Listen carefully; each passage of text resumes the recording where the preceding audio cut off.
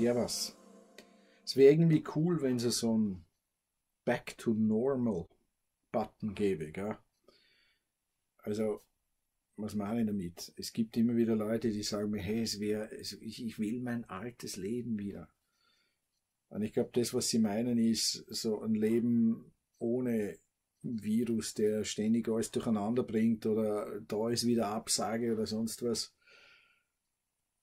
Ja, dem kann ich irgendwie zustimmen, ob ich jetzt mein altes Leben wirklich wieder will. Naja, gut, ist eine andere Geschichte, gell? Aber so ein Button wäre cool.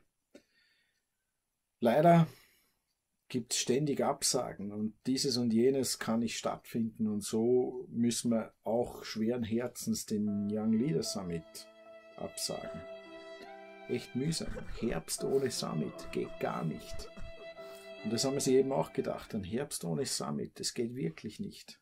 Aber was für eine Möglichkeit gäbe es?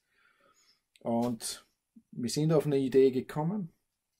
Wie wäre es, wenn ihr als Teams zu Hause irgendeinen der älteren Summits, wo ihr wisst, da war was, das hat mich total angesprochen, nochmal anhört. Wir werden das euch auf der Website zur Verfügung stellen.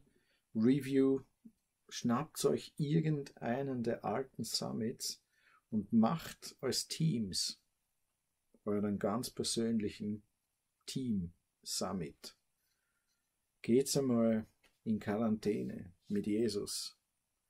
Legt ihm eure Jugendarbeit, Kinder, Jungschau, was auch immer ihr macht, legt ihm das hin. Die, die, die Leute, die euch anvertraut sind, betet um Vision, um, um Ausrichtung, um Freude, neue Ermutigung, damit, wenn es dann wirklich back to normal geht, ihr am Start seid, ganz neu gestärkt, voller Freude, mit Ideen und von Jesus auf die Spur gebracht.